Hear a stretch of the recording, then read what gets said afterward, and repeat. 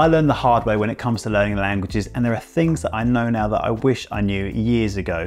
In this video, I'm going to share them with you to hopefully save you from wasting so much time. I'm going to keep it simple so that these are things that you can easily implement into your learning. These are going to be super accessible so that anybody can do them. Each one builds on the last, so by the end of this video, you'll feel more confident in what you need to do. Hopefully, you'll then be on the path to getting the language abilities that you're looking for. Before we get started, the thing that is really important to know and something that was reinforced by some recent interviews I did with Dr. Bill VanPatten and Dr. Jeff McQuillan. They've both been studying how we learn languages for decades and have done research on how it is that we really pick up languages. And what they found is that it takes hundreds of hours, if not thousands, to genuinely pick up a language naturally just remembering set phrases and trying to repeat them is a totally different process. You can't learn a language in a week or even a month, it's just simply not possible. So when it comes to our expectations of when we should see results, we need to reframe how we see our activities and also give ourselves a break if we haven't yet got to where we would like to be. Now, we all have busy lives, and sometimes it seems that life only gets busier. You've all got responsibilities, and I totally get that. You can't cancel your life in order to go off and study a language, but knowing the amount of time that it's going to take you to learn a language, there is one key factor that is essential. So imagine you are learning to ride a bike as an adult. You get the nicest bike you can, a sweet looking helmet, maybe even some of those nice lycra trousers. Don't let anybody tell you that you don't look fantastic. And despite having all this gear, you only get the bike out once a month when you remember. Chances are you're not going to learn to ride a bike that quickly. It's exactly the same if you want to learn a language. Occasionally, trying to learn a language isn't going to cut it if you want to learn faster.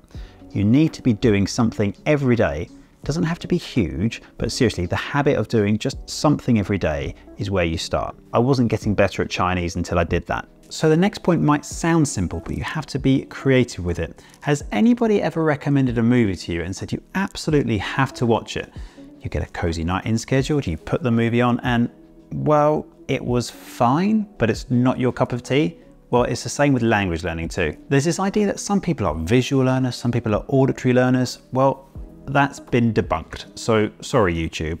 But what is true is that we all have different things that we like to do. If you try something and you don't like it, it doesn't mean that you're a bad learner. It just means that you need to keep trying until you find something that you would rather do. That might be watching YouTube videos, reading comics, reading books online. You're not going to build up a daily habit doing things that you don't enjoy. Now we find stuff we like doing because that's how we're going to build the daily habit in order to get the amount of hours that we need. But this next point is the next piece of the puzzle though. It can all sound a little bit theoretical when we say, oh, just do stuff you enjoy, but you have to be practical if you're gonna make this work. Looking at your daily routine, where is there space in your day to read, watch, or listen? Now, in an ideal world, you aren't doing anything else whilst this is going on, and we'll talk about that in a minute, but it is totally fine to put on some audio material to listen to whilst you're doing the washing up you're going to be doing the dishes anyway. It's a bit of a no-brainer. You can just have a bit of a think, but why not try this? write down the hours of the day and then next to each write down what your normal activities are. Where it's reasonable, put in the language learning activity that you're going to do alongside or in between those activities you normally do. Don't make it too complicated. Less is more, which I'll explain in a second. But before that, if you find yourself with more free time, maybe you're between jobs, maybe you're young with fewer responsibilities, maybe you've just retired, who knows? You can do as much as you want.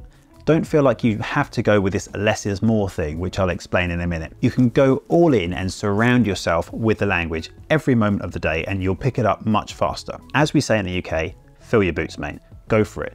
You're not going to regret learning a language. But let's be honest, not everybody has that amount of free time. Anyway, the less is more thing. So when I say that, it sort of doesn't make sense, right? I'm trying to tell you you need to build up hundreds, if not thousands of hours. Why would I tell you to do less? Well, here it is.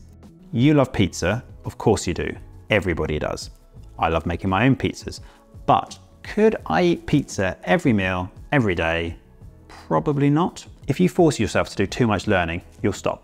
Simple as. Burnout is a thing which is why I think it's really powerful to start small and build up your habits over time. Before you know it, you're surrounded by the language in a way which would not have been possible at first. By building up slowly, you'd be surprised how much you can achieve. Had I known all of this before, it wouldn't have taken me quite so long to get to the point that I am now where I can fit in a good few hours of Spanish a day without having to cancel my life. Despite saying all of this, it's important to understand how the language learning process works though, or let's be honest, you're not gonna get very far. Check out this video here while I explain what to do next.